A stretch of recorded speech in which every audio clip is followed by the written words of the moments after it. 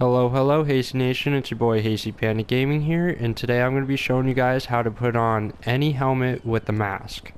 So, what I'm going to do is I'm going to head over to a the mask shop, and you're going to go to ski masks, and then you're going to go down until you find these uh, masks called tight ski.